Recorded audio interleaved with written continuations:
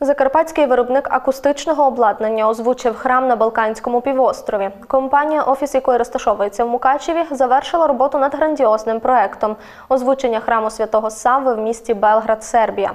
Це найбільша православна церква на Балканах, будівництво якої тривало близько 70 років. Будівля храму зі стелею понад 65 метрів має найбільший серед православних храмів світу внутрішній суцільно відкритий простір, що безумовно вимагало від виконавця точності розрахунків при проєктуванні та злагодженої роботи персоналу під час встановлення акустичного обладнання.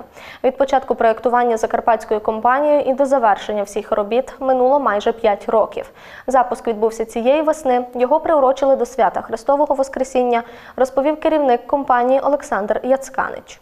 В кінцевому результаті було інстальовано близько 100 акустичних систем, які в сукупності створюють ефект відчуття суцільного злиття відвідувачів храму із ходом богослужіння.